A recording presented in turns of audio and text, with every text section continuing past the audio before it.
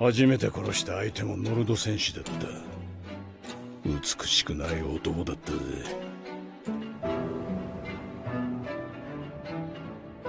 俺の親父だ。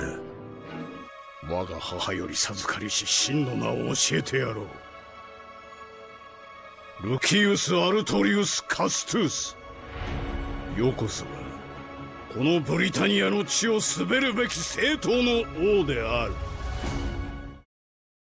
俺を止められるのは唯一柱間だけと言ったはずだ。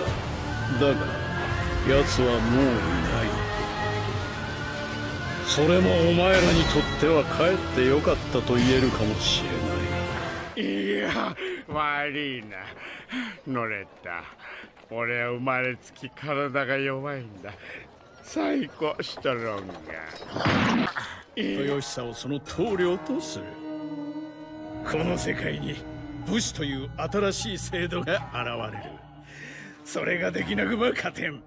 俺たちが軍権を握る唯一の方。そして今度は俺のやり方でやらせてもらう。だから一切の手出しは無用だ。わかった。お久しぶりですウィリアム様。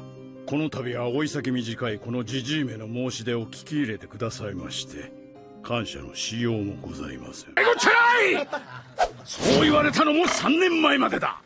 ブルーマーズは現オーナー就任に伴う大規模な球団改革でカオス軍の親玉だ。この城にはこいつしかいない。こいつがここで全てのカオス兵を操っているのさ。今回はそれが3話で1日3割。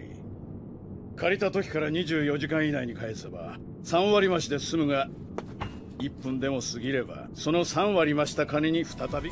では申し訳ありませんがあなたに働いていただきましょう。ミス・エルスティですが条約に属する君主でありながら同盟との戦いより故郷の解放を優先させるというのはいかがなものか。と思ったがやはりな。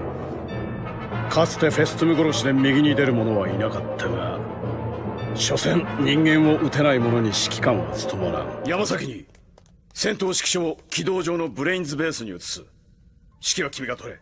認証コード811了了解。トッチとノロは俺たちの家族みたいなもんだ。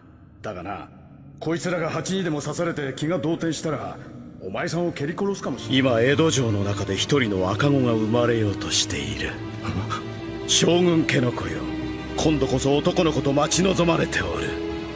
その子にこの用意が取り付く。我がの国守護職富樫正親様の配下にしてこの石川領領主である。度重なる飢饉と対空戦闘用意総員ノーマルスーツ着用。付近の民間船に敵が紛れ込んでいる可能性がある。対空監視をゲットなせ。いやキラとは違う。私には親としての責任刑事局長としての責任がある。また団長にしてやられたよ。絶の達人が多すぎるとは思ったんだよな